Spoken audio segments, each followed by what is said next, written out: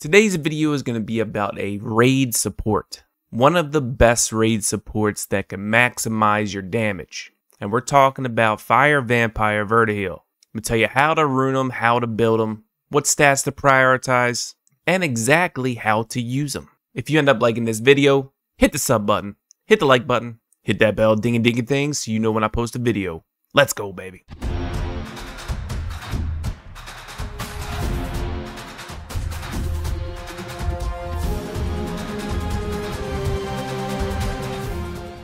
All right, Verdehile, he is your raid support. He is used in multiple different raids. He's not like the greatest choice for like regular dungeons for speed clearing. He is better for fights that take a little bit more time. So we are talking about raids. We are also talking about guild raid. You can literally use him in any raid. He will maximize your soul link monster. It just depends on whatever your role is in the raid. If it's a normal raid like Naraka, Twisted Marsh, Tree of Heroes, you guys are just doing damage, so this is for your damage dealing Soul Link. This also includes World Boss. Do as much damage as you can. For Guild Raid, it might be a little different. You could be your main debuffer for Fermion to apply his damage taken up, which is unremovable and is different from the other damage taken up like Helia. There could be another member that's spamming Helia but having Verdehile in that team comp is going to make it beneficial. You could be using Naomi with crit damage taken up debuff to the boss with Verdehile, or if you've gotten the luck with Genos and pulled him, you might be using him instead. Or you could be your team's support and spamming Windy crit damage buff for your whole team. Regardless of any role you're doing, Verdehile can help you if you're just spamming Soul Link. Every critical hit Verdehile does, he has a 25% chance to apply a level 1 Thirst. This is important. When he uses his second skill and he has level 10 Thirst, he will apply level 1 mana regen speed up and level 1 mana cost down. So you can use a 3 mana cost Soul Link for 2. This also gives attack speed up to all allies, which helps Verdehile as well. His first skill gives himself level 2 Thirst and applies crit res down, which is highly important in Tree of Heroes.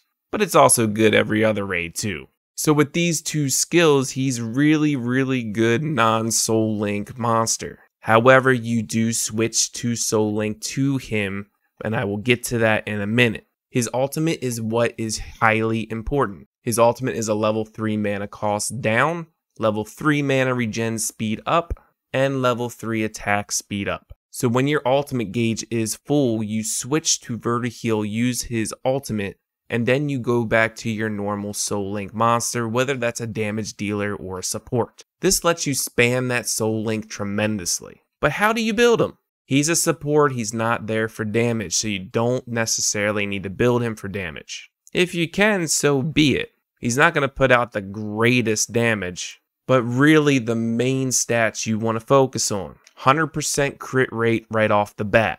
This is for his passive. His basic attack, when it crits, it gives him a 25% chance to give him thirst.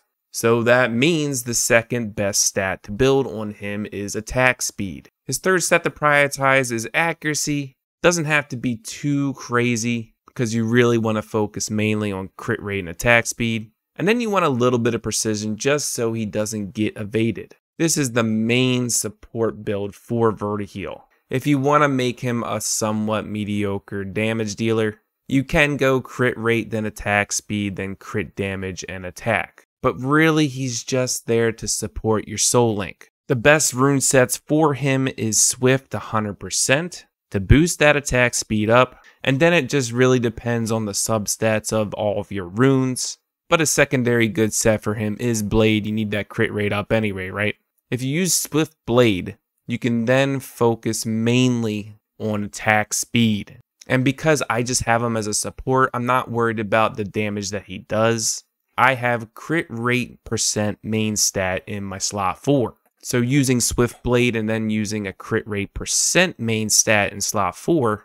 In other runes, I really don't need rolls to go into crit rate, or I don't even need crit rate as a substat at all. Like this is a one roll of crit rate. This doesn't even have crit rate. Neither does this one. It just makes it easier to prioritize attack speed. So how I build him is attack speed in slot 2 for a main stat, crit rate in slot 4, and honestly this is just a defense flat main stat that has 15 attack speed. And these are survivability substats, which is what I just want him to have. But I'm focusing on attack speed rolls like this rune, 5 star rune. I can get 6 star runes, sure, but every single roll went into attack speed, which is huge for Verdehile. This is a great rune.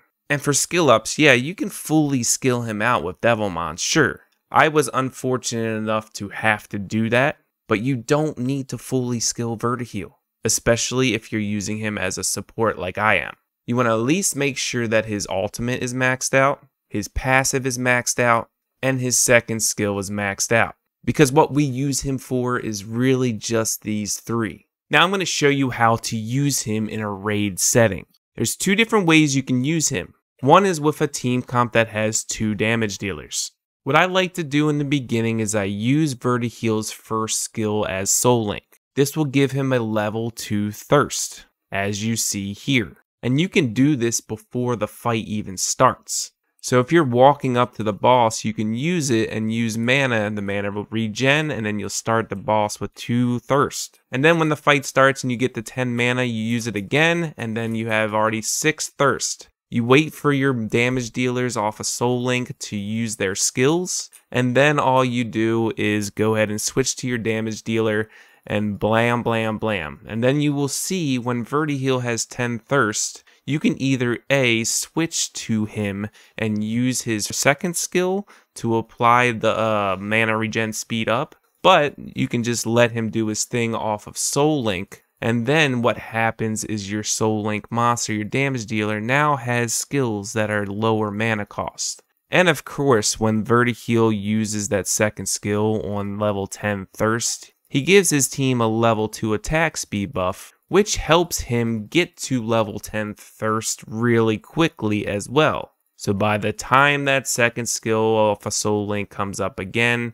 you get level 2 attack speed again, and you get the mana cost down and the mana regen speed up. Now during the fight, of course, while you're using all these Soul Link damage skills, your ultimate will be going up. So when your ultimate gauge is full, you want to wait until the mana cost down is off. As you see right here, it falls off now. I switch the Verdehile and use his ultimate. And when you see the mana cost change to 1, then you switch back to your damage dealer and you have a 1 mana cost skill that you are just spamming and spamming and spamming and spamming and spamming and it's huge damage.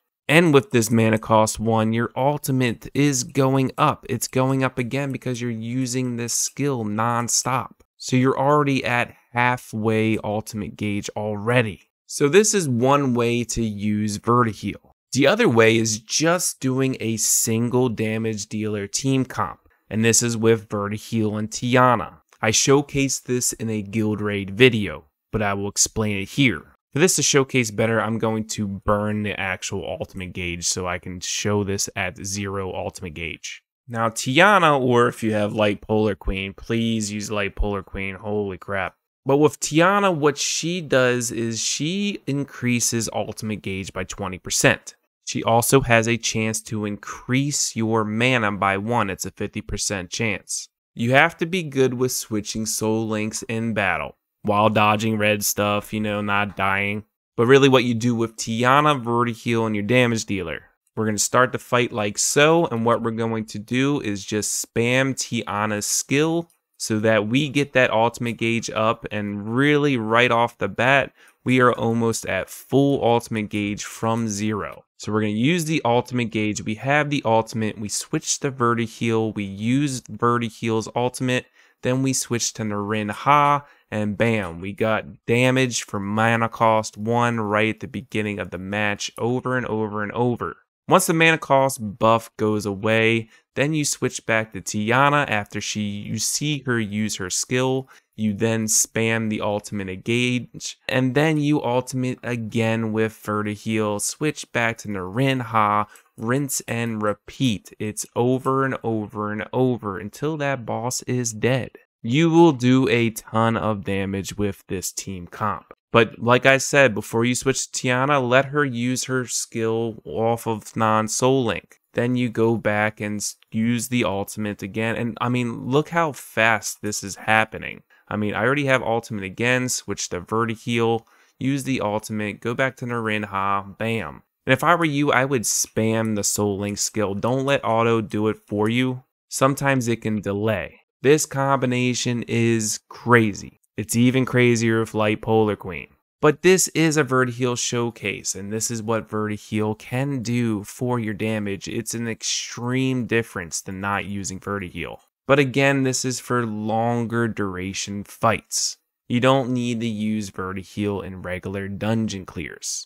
But that's it for today's video. Just wanted to showcase Verdehile, how to build them, how to use them. You will see a tremendous difference if you use Verdehile on your team, and even if you apply Tiana with Verdehile. If you like all my videos and content, sub, like, ding ding a bell. I'll see you in the next one. Peace!